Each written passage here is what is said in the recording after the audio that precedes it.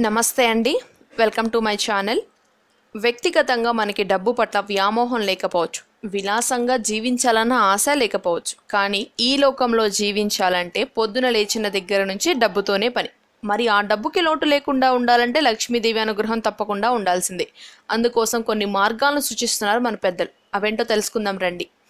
శ్రీఫలం. పేరులోనే శ్రీ ఉన్న ఈ చిన్న కొబ్బరికాయని లఘునారికేలం అని కూడా అంటారు. లక్ష్మీదేవి నీటిలోనూ ఫలంలోనూ ఉంటుంది కాబట్టి ఈ శ్రీఫలాన్ని లక్ష్మీదేవికి ప్రతిరూపంగా భావిస్తూ ఉంటారు. పైగా దీన్ని నిరంతరాయంగా మన పూజ గదిలో ఉంచుకునేందుకు కూడా వీలు ఉంది. ఏలినాటి శనితో బాధపడుతున్న వారు వ్యాపారంలో లాభాలను కోరుకునేవారు ఈ శ్రీఫలాన్ని పూజ గదిలో కానీ మీ క్యాష్ బాక్స్లో కానీ ఉంచితే ఎనలేని విజయాలు సొంతమవుతాయి. శ్రీ సూక్తం. అమ్మవారిని స్తుతిస్తూ సాగే ఈ శ్రీ సూక్తం ఈనాటిది కాదు. వీటి మూలాలు ఋగ్వేదంలోనే ఉన్నాయి.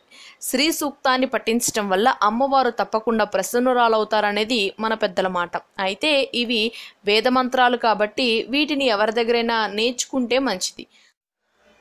అలా కుదరని పక్షంలో శ్రీ సూక్తాన్ని ఇంట్లో అప్పుడప్పుడు వినిపిస్తూ ఉంటే శుభప్రదం.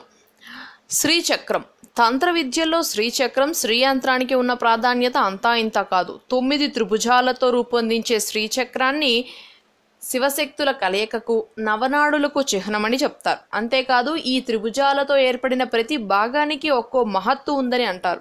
ఈ శ్రీచక్రంలోని ఆకారాన్ని పిరమిడ్ రూపంలో నిర్మిస్తే దానినే మేరు ప్రస్తారం అంటారు. ఈ మేరు ప్రస్తారాన్ని కానీ శ్రీయంత్రాన్ని కానీ పూజగదిలో ఉంచితే అమ్మవారి ఆశీస్సులు తప్పక లభిస్తాయన్నది నమ్మకం.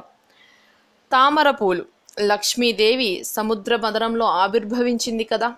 అందుకని ఆమెకు నీటికి సంబంధించిన శంఖం గవ్వలు తామర గింజలతో పూజిస్తే మంచిదని మన పెద్దలు అంటారు. ఈ విషయంలో అంతగా స్పష్టత లేకపోయినప్పటికీ లక్ష్మీదేవిని తామర పూలతో పూజిస్తే విశేషమైన ఫలితం లభిస్తుందనేది మన పండితుల మాట.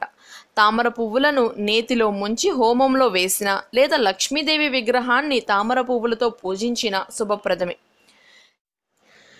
నేతి దీపాలు. చీకటిని అజ్ఞానానికి దరిద్రానికి నిరాశకి చిహ్నంగా భావిస్తారు. అలాంటి చీకటిని పారద్రోలే సాధనం దీపం.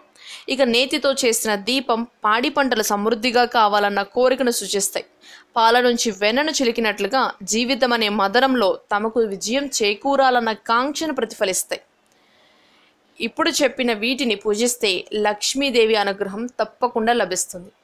ఈ వీడియో కనుక మీకు నచ్చితే లైక్ చేయండి. మరిన్ని వీడియోస్ కోసం మా ఛానల్కి సబ్స్క్రైబ్ చేసుకోండి. Thanks for watching